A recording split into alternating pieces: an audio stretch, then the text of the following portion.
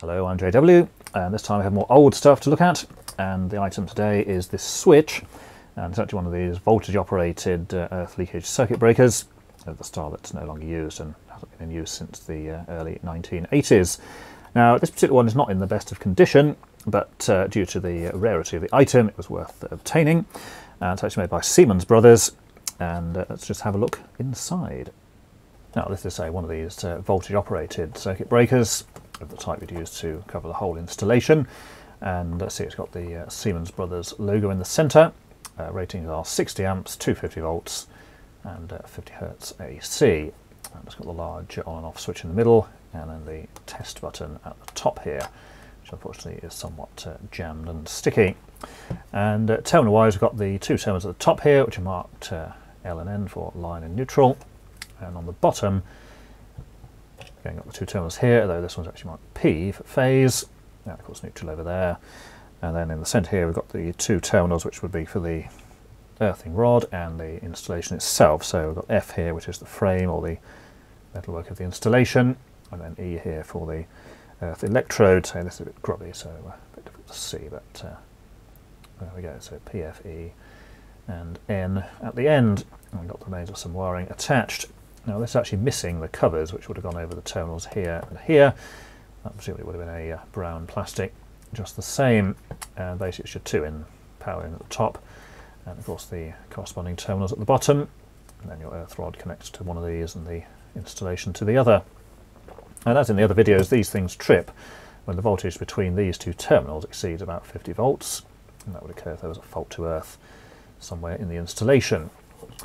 Now this one does kind of work, but uh, there are some issues. So that's sort of the on position and the uh, off there. And if we're going to do this nut here, and have a look inside, the back incidentally is just a plain cover, so nothing doing there. Now this came from someone on eBay, and uh, while it's not in the best of condition, only worthwhile getting this because uh, this is the sort of thing you're pretty much never going to see again. So let's see if we can just extract the lid and see what's inside. Now the lid here, just first of all, we've got a nice diagram inside which shows the wiring. So see what here the uh, coil impedance of 300 ohms, uh, designed for maximum earth resistance of 500. Again, here's your internal wiring. So we've got the uh, two connections there, the line and neutral, and then the uh, phase and neutral at the bottom, which are incoming outgoing connections. And then your uh, test resistor here, and then the test key or button as I've called it there. Essentially when you press out it just moves across to uh, energize the coil there.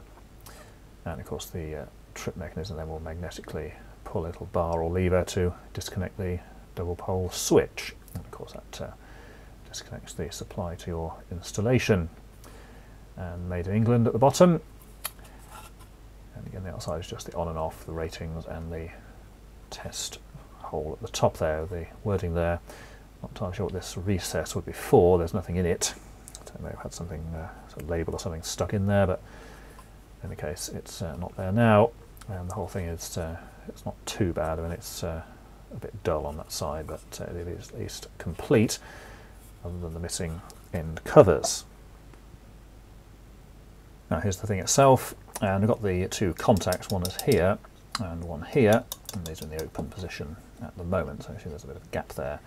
This one seems to have lost uh, some of its springiness, so uh, not necessarily as good as new, but when the uh, switch is actually pressed down, it's actually pushing this bar down, which then just uh, pushes the contacts closed. So as that comes down, you see it will just uh, press that bar into the closed position. Now, so unfortunately this is uh, missing a few bits, and this bar here appears to have got no spring on it anymore, so anyway that's your open there and as it's pushed down it closes both of those contacts. Now the switch mechanism here, this is the bit that's sort of uh, somewhat broken, there's like hooks there, then there should have been a spring or something underneath to hold that in position. Uh, tripping coil at the top here, you'll see the wires coming off the top there and over here, they actually go into the back, so I'll have a look in there in a minute. And uh, you notice this little slot here and that peg underneath and when you actually pull this down, so it's actually resting against the little peg there, and then the tripping part, the coil here will actually attract the bar here and pull that up, which will then release that, causing this piece in the centre to move. So you can see that just releases that. And then this thing will uh, spring out of place, releasing the bar at the bottom. So there that is again, and this thing uh, essentially just turns backwards a certain distance. So that just will uh, release and that will roll backwards, releasing the actual catch. Then it will just come back into the locked position again afterwards.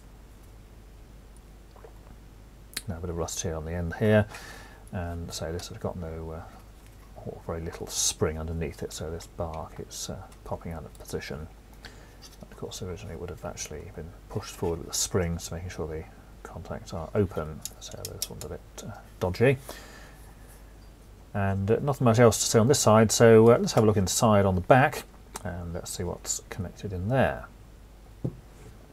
So inside then we've just got this plate which removes from the back and then uh, we've got the resistor here which will be for the test button just to limit the current through that coil and we've got our connections down the bottom here these appear to be rubber insulated wires so they're in fairly uh, reasonable condition although uh, some deterioration of the surface certainly has occurred there. And so that'll be the test resistor, and those wires just go through the other side. And uh, bizarrely, this one appears to be a plastic covered insulator, and so those two are rubber, so certainly inconsistent. So two terminals here for the uh, frame and earth connection, so that's where the test voltage or the 50 volts would appear to trip the thing, and those wires go up to here and through the top there.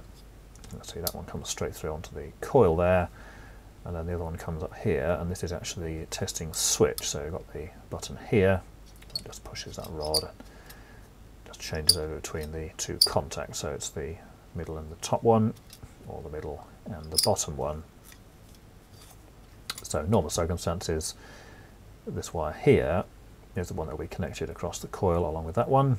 And then when you press the switch, it's the wire here via the resistor, and I see that goes on to the uh, live terminal over here, which is that reminiscent of red wire.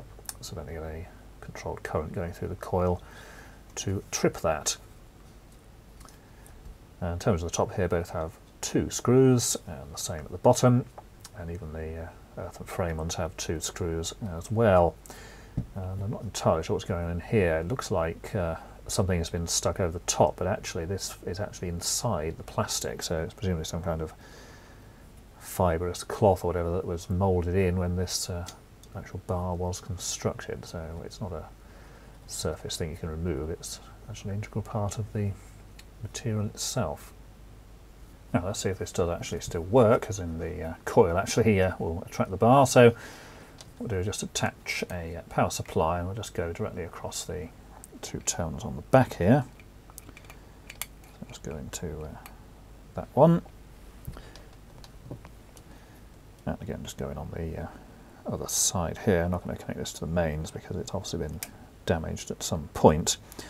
And of course, there's no guarantee that uh, it may actually be safe.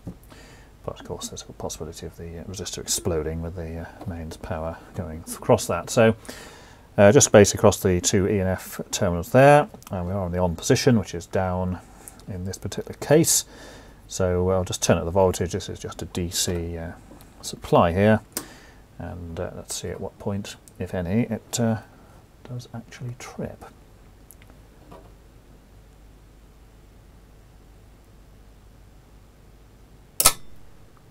Okay, so there we go, that was about 6 volts DC, so fairly low uh, voltage to get that to go. So let's just reset this, which uh, is a bit of a challenge because the uh,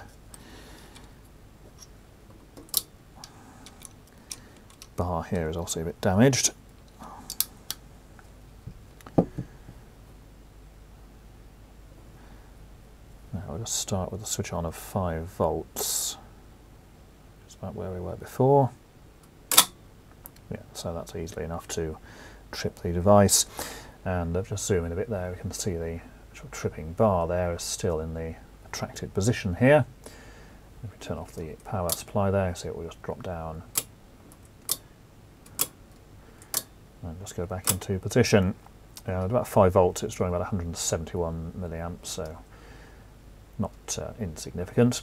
And of course, it's only designed to be on for a very short time, because of course, as soon as this trips, it will have uh, disconnected the supply to the installation and therefore cleared whatever fault was uh, causing it to be powered in the first place. So we'll look there at another of these uh, old voltage operated earth leakage circuit breakers.